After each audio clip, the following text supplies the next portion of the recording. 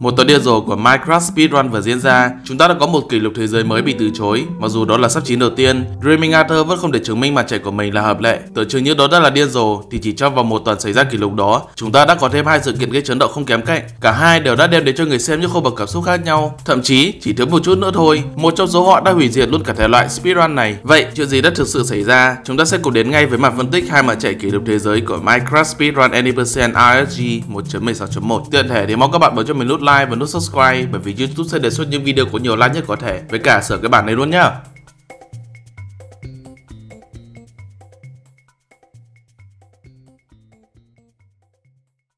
Ngày 30 tháng 7 năm 2022, tức chỉ sau vài tiếng kể từ khi màn chạy của Dreaming Arthur bị từ chối, chúng ta đã có thêm một màn chạy sắp chín kỷ lục thế giới của Minecraft Speedrun và lần này nó hoàn toàn hợp lệ. Tuy nhiên, do màn chạy được thực hiện vào giữa lúc của schedule đã diễn ra, người ta đã không còn quan tâm hay hưởng ứng nhiệt liệt như màn chạy của Dreaming Arthur, dù đây là kỷ lục thế giới sắp chín legit đầu tiên của bảng xếp hạng. Sagi Eagle, tên trên speedrun.com của cậu là Sagi Enderman. Cậu là speedrunner người Israel với hai VB trước đó lần lượt là 12 phút 27 giây và một là 12 phút 11 giây. Cả hai màn chạy đều được đăng tải cách đây 2 tuần, có nghĩa là Sagi đã thực sự vượt qua cột mốc sub 12, sub 11, sub 10 để có được kỷ lục thế giới sub 9 này. Mình thực sự không biết nói gì cả, bởi vì các speedrunner giỏi như Crook hay Q đã mất rất nhiều thời gian để có được màn chạy, đi từ sub 12 xuống sub 11 rồi mới đến sub 10. Để thực sự biết được rằng chuyện gì đã xảy ra với màn chạy này, chúng ta sẽ cùng đến ngay với màn phân tích video kỷ lục thế giới Minecraft Speedrun 8 phút 37 giây bởi Sagi Eagle.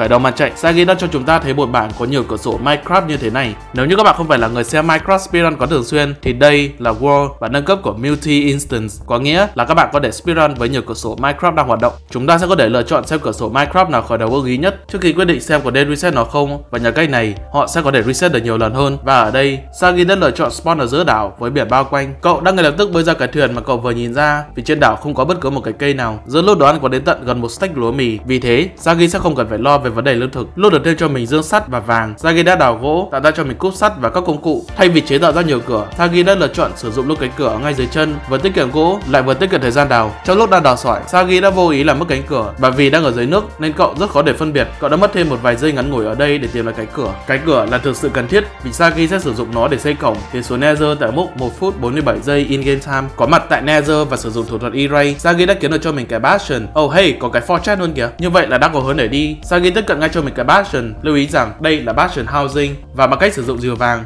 Sagi đã đào dương để lấy sự chú ý của lợn. Thực hiện ngay chuyến du hành xuống dưới, đào cho bọn lợn rớt xuống. Sagi đã không may mắn khi gặp phải một con lợn đứng ở chỗ đào vàng. Cậu đã chỉ có để lựa chọn đào vàng ở bên dưới và bỏ qua ba block vàng ở bên trên. Kết thúc quá trình trao đổi vàng, Sagi đã có được cho mình ba stack ngọc, rất nhiều chỉ, nhưng lại chỉ có được 7 viên orbi. Tính sơ ra, trong số 5 dương mà Sagi đã check, cậu đã chỉ có được không quá 5 viên orbi. Điều này không những chỉ ảnh hưởng đến tốc độ của màn chạy, mà cậu sẽ cũng không để sử dụng được thủ thuật double travel. Sagi đã quyết định không đợi bọn lợn đổi nữa mà đi lên phía trên, check luôn ba dương còn lại và cậu lại chỉ có đủ được 18 viên orbi không đủ 20 viên để thực hiện thủ thuật Double Travel. Nhưng thôi đã lỡ rồi, Sagi cùng đường đi lên cái Fortress và đây là cái Soul Valley Fortress. Cậu đã sử dụng ngay thủ thuật 5 Render Distance, nhờ đó đã có đợt rất nhiều con play spawn tự nhiên. Chiến đấu trong khi bị con gác chiêu tức, trò chơi đã đền bù cho cậu và tỷ lệ rớt là 100%. Sagi đã check tọa độ Blind, xây cổng và có đợt lần Blind đầu tiên. Theo như mình thấy thì tọa độ Blind này khá ổn và Sagi đã spawn ở ngay giữa biển. Tại mốc 5 phút 54 giây, cậu đã vô tình bấm về nút reset và đây có lẽ là điểm bất ngờ nhất của màn chạy này.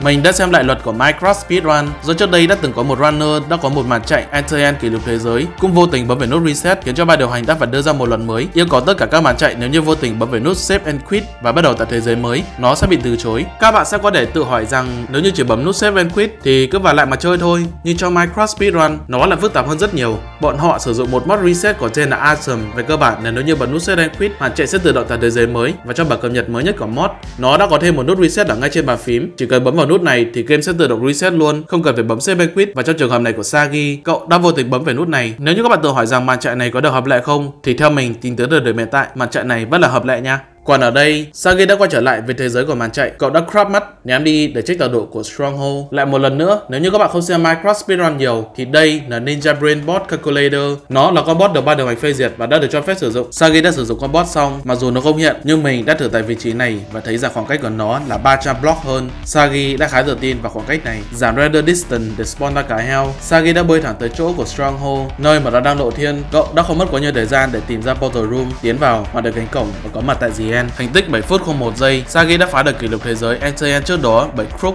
là 7 phút 24 giây. Tiến lên mặt đảo, setup xuống chỗ one cycle, grab giường. Sagi chỉ cần đợi cho con dọc perch nữa là xong. Con rồng đã không phụ lòng cậu mà chỉ có cậu đã tí chút nữa chốc luôn màn chạy vì đã ném pearl ra quá xa. Sagi vẫn kịp thực hiện pha one cycle và có được cho mình pha 4 bet đồng thời hoàn thành trò chơi tại mốc 8 phút 31 giây sau khi retime bởi timer là 8 phút 37 giây chính thức phá được kỷ lục thế giới của Q1337. Tính tới thời điểm hiện tại, nhóm moderator vẫn đang kiểm duyệt màn chạy này và theo mình thấy không có gì đáng ngờ với màn chạy này cả. Sagi sẽ trở thành tân kỷ lục thế giới mới của Minecraft Speedrun với thành tích 8 phút 37 giây in game time. Nhưng không, video chưa kết thúc tại đây bởi vì chỉ một tuần trước khi video này được thực hiện, Crook đã thiếu chút nữa tạo nên kỷ lục thế giới siêu siêu điên rồ của Minecraft Speedrun. Về Crook thì mình đã nói đến nhiều rồi, chúng ta đã có đến tận 3 video về speedrunner thần thánh này và về kỹ năng của anh ấy thì không ai có thể so sánh được. What?